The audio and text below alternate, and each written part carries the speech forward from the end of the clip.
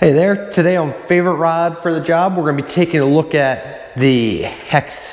And this is the 761 Heavy. This is gonna be one of the best rods you ever put in your hands. The lightness of it, it's unparalleled. It's unbelievable. They use these titanium guides, um, this special reel seat, and you can see it's got this uh, foam handle and a cork um, button for your hand. And it's just, it's super high quality all the way through. It's made with this hexagonal blank, hence the name Hex. But this all combines to make this the lightest rod you're gonna pick up. It's unbelievable. I really have enjoyed using this rod this year. Um, you can see it's rated for um, 14 to 25 pound line, being that heavy action. It's 3 eighths to an ounce and a half weight you can throw with this it really, it's unbelievable how great of a rod I've uh, determined this thing is. You can see it's got that action there where it's the extra fast, but it's got plenty of backbone. It comes down into that area there where it's able to, you can see I'm flipping a jig with it.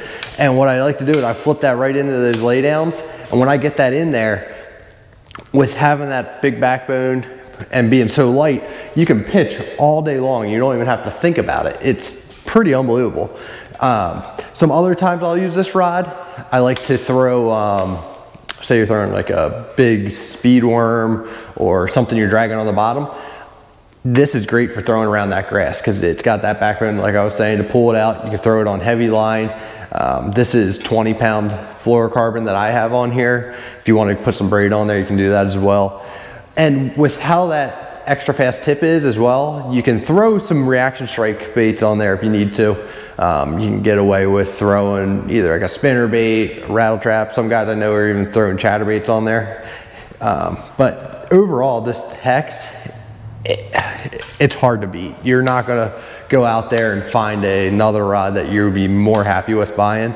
Um, it does retail for $399.99, so it's on the high end class of uh, rods. It's the best rod that Favorite makes and it's one of the favorites that I've used this year. Um, the other thing I like to use this for, which a little bit of a top secret, but I throw a little football jig on it. I'm working on it with a company, Cornerstone Baits right now. So that'll be out soon too. And this rod pairs perfect with it.